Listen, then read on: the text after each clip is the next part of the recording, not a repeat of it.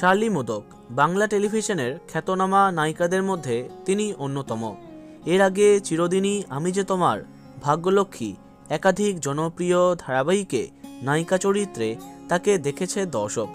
তার কর্মজীবনের মতো ব্যক্তিগত জীবন সম্পর্কেও দর্শকেরা অবগত। এই ইন্ডাস্ট্রিতে আসার আগে থেকেই সম্পর্কে ছিলেন শার্লি।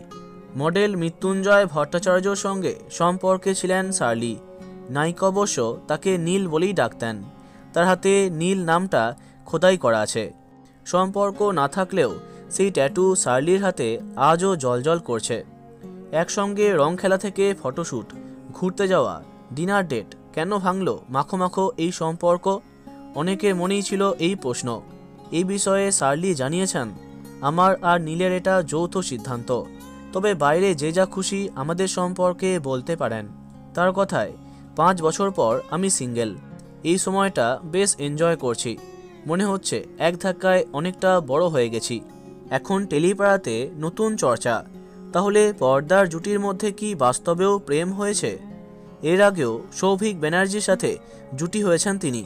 একাধিক ধারাবাহিকে ভালোবাসার অভিনয় করতে গিয়ে কি সত্যি করেই ভালোবেসে ফেললেন? না, সেই উত্তর এখনও পাওয়া যায়নি। তো বন্ধুরা, কেমন লাগে তাকে?